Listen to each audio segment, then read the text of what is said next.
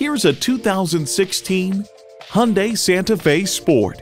This car pulls ahead of the pack with its cargo capability, safety measures, and horsepower. Plus, it offers an exciting list of features.